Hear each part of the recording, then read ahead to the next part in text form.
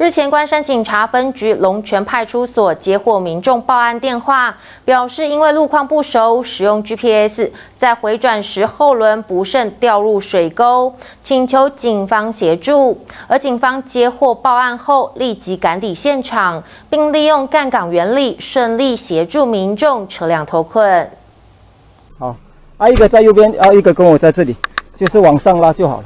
从画面上可以看见，警方就地取材，找来粗大的木棍，以增加轮胎的受力面积，并成功协助民众脱困。十三日晚间十一点二十分左右，关山警分局龙泉派出所接获勤务中心转报，表示有民众因为路况不熟，使用导航系统，在要回转时，后轮却不慎掉入水沟内，导致无法脱困，请求警方协助。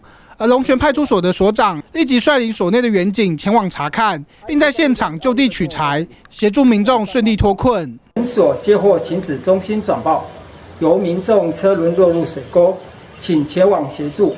本所员警抵达现场后，随即就地取材，持粗大木棍顶住后轮两侧，让后轮有抓地力后，再请驾驶吹油，才顺利协助车辆脱困。借此利用机会呼吁民众。驾车出门游玩，务必先行检视车辆状况及查询路况。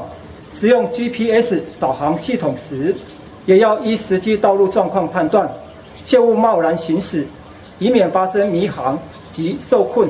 关山警分局也呼吁民众。驾车出门游玩时，务必先行检查车辆的状况以及查询路况。使用 GPS 导航系统的时候，也要依实际道路状况进行判断，切勿贸然行驶，以免发生迷航或是受困的情形。